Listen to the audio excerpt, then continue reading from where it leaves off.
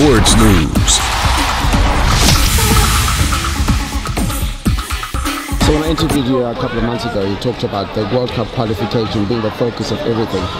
Uh, it's culminating in that. What, what, does it feel like just achieving that? Oh yeah, it's a, it's a huge relief, a huge weight off the shoulders.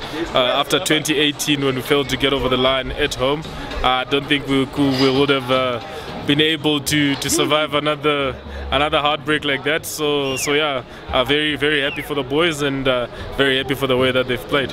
And are you happy? I know you just mentioned the senior players, but they really did come up and show that uh, they still have a lot of value for the national team, didn't they? Oh yeah, definitely. Uh, I mean, you you really can't uh, sort of look past uh, what they've done.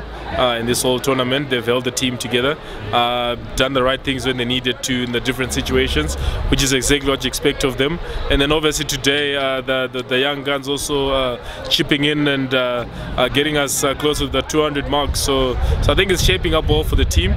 once you have your senior players driving the team as they did today, and with the young guys also chipping in, you can't really go wrong from there. Over this tournament, we've seen a real togetherness in the team. There's a sense of purpose. Um, what, what do you think that has come down to? I think uh, it's just come down to, to obviously the, the, the, occasion itself. I think everyone knew exactly what was at stake. Everyone knew um, what was required of them. And I think uh, they all worked together towards that uh, same goal.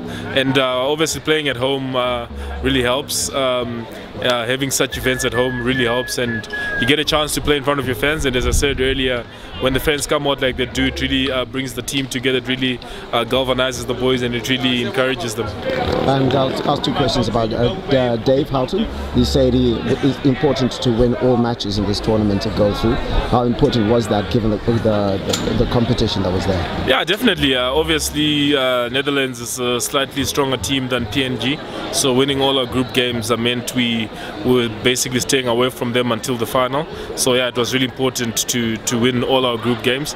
Uh, but yeah, like you mentioned, it's important to win all the games. Uh, so so the final is still important for us. Uh, so we'll come out uh, guns blazing to try and win that as well.